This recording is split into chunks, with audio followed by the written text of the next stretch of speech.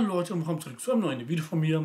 Endlich startet wieder Horrorsystem und für die Leute, die nicht wissen, was das ist, das Format gibt es seit letztem Jahr auf meinem Kanal und zwar kommen im Oktober nur Videos mit dem Thema Horror und das muss nicht nur Anime- und Manga-Reviews sein, sondern können auch Reviews zu Filmen sein oder die Horrorfilmsammlung wird gezeigt oder wir sprechen über irgendeinen Horrorcharakter speziell etc. Es kommen auch zwei Videos pro Woche, Ausnahme natürlich, wenn Gigant erscheint ähm, dann gibt es die Giga Capital Review natürlich trotzdem. Und das heißt, es gibt sogar drei Videos.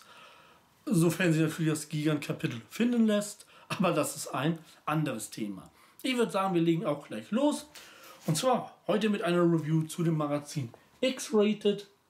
Ein Magazin über Horrorfilme gibt es seit 1993 und ist die 100. Ausgabe. Ähm, wie ihr seht hier noch ganz groß zu Child's Play was drin. Und es erscheint fünfmal im Jahr, also auch nicht allzu oft. Und ist mit einem Preis von 3,30 Euro auch ja, völlig in Ordnung. Wie gesagt, fünfmal im Jahr. Ist allerdings leider nicht sonderlich dick wie andere Magazine, die nur selten erscheinen. Die sind ja oftmals dicker. Aber dafür dreht es sich hier auch wirklich nur um Horrorfilme. Es gibt noch andere Magazine, die auch das Thema Horrorfilm haben. Die haben da allerdings auch noch Fantasyfilme etc. mit drin. Und das hier wirklich ein reines Horrorfilm-Magazin. Wie ich schon erwähnt hatte, hier noch ganz groß Child's Play. Ist somit auch die aktuellste Ausgabe, die nämlich von Juli bis September geht. Im Oktober erscheint auch eine. Ich wollte allerdings Horrorsystem gerne mit der Review zu X-Rated eröffnen. Und die nächste Ausgabe erscheint leider erst Ende, ja, so Mitte, Ende Oktober, nämlich ähm, vorne steht drin, nämlich am 18. Oktober, weshalb ich dann die so gesehen aktuellste Ausgabe dann doch nicht vorstelle. Oder vielleicht doch, aber das wird sich die, ja, da wird man noch sehen. Ja, wie gesagt, hier sogar eine Spezialausgabe, weil es die 100. Ausgabe ist. Und hier haben wir auch so die aktuellen Themen drin stehen, welche in diesem Magazin enthalten sind. Hinten ist Werbung für die Freitag der 13. Reihe für drei Filme äh, mit verschiedenen Covers und wo man die überall kaufen kann. Natürlich ungeschnitten. Doch, wie ist das Magazin so? Ähm, mir gefällt es sehr gut und natürlich die meisten Infos, die man hier drin bekommt, wie hier zum Beispiel der Bericht über Child's Play, etc. kann man natürlich auch online lesen oder irgendwelche anderen Reviews zu Filmen. Aber bei so Printmedien kommt es halt für mich auch immer darauf an, wie die geschrieben sind und ob sie sympathisch geschrieben sind. Und das schafft es X-Rated wirklich sehr gut. Die Berichte sind sympathisch geschrieben und auch wenn man vielleicht die Info schon aus dem Internet hat, bringt es einfach Spaß, das nochmal zu lesen. Außerdem hat man hier immer was kann das jederzeit lesen, kann es mitnehmen, kann es im Bus lesen, kann es im Zug lesen. Jetzt werden natürlich wieder Leute kommen, ja, kann man auf dem Handy aber auch.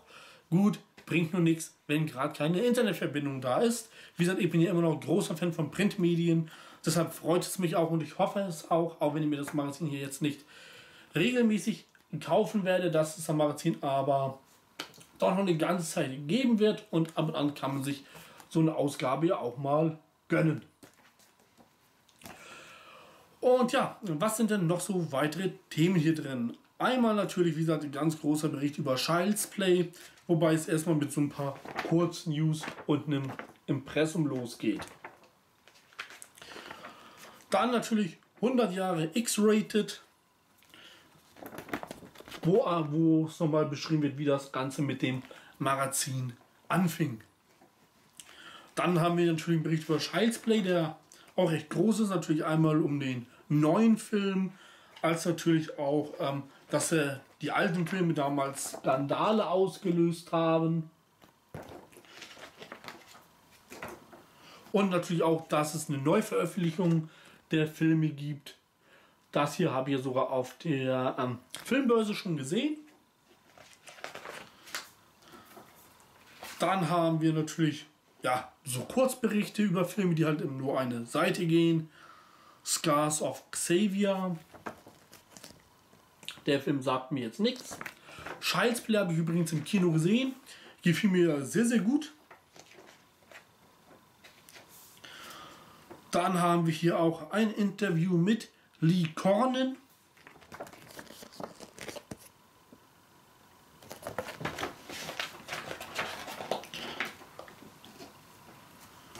Und dann noch einen Bericht zu George Romeos Zombie. Auch mit den Bildern 4, warum der Film damals beschlagnahmt wurde und nicht verkauft werden durfte. Ähm, weil er gewaltverherrlichend ist. Der Film erscheint ja jetzt auch ungeschnitten auf DVD und Blu-ray. Deshalb auch der Bericht dazu. Aber schon wirklich sehr, sehr lächerlich, warum der Film damals auf dem Index gelandet ist. Also, ja, wie gesagt, unverständlich letztendlich. Ich meine, es handelt sich um einen Film, das ist nicht echt. Dann haben wir noch einen Bericht über Puppet Master. Auch da über den neuesten Film ist auch die große Filmreihe Das tödlichste Reich. Den Film habe ich auch gesehen, war richtig, richtig gut war der erste Film aus der Puppet Master Reihe, den ich jetzt gesehen habe. Macht auf jeden Fall lustig, auch die anderen Filme anzuschauen. Auch wenn Puppet Masters Tödlichste Reich wohl so eine Art Reboot ist. Und ich bin sehr gespannt, ob es davon nochmal eine Fortsetzung gibt, weil das Ende lässt durchaus darauf hindeuten. Und das war es dann leider auch schon wieder fast mit der Zeitschrift.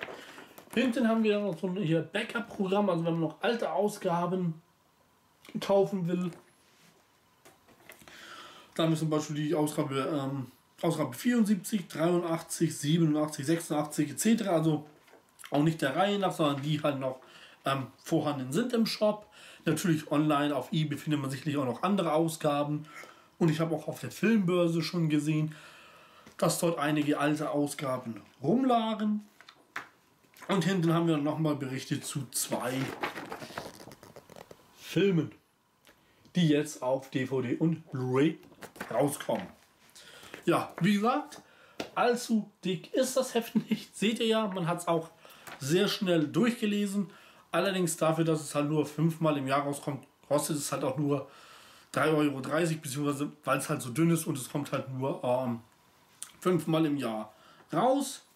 Hier wie gesagt, die Jubiläumsausgabe. Ob da jetzt ein Unterschied zur regulären Ausgabe ist, Glaube ich nicht, außer dass das Ganze hier so ein bisschen golden gehalten ist und dass wir halt einen Bericht haben, ja, wie das mit dem Magazin anfing, der übrigens wirklich sehr, sehr interessant ist. Und wer sich für Horrorfilme interessiert, der kann auf jeden Fall mal einen Blick in das Heft werfen. Ähm, ab und an lohnt es sich auf jeden Fall mal so eine Ausgabe zu kaufen.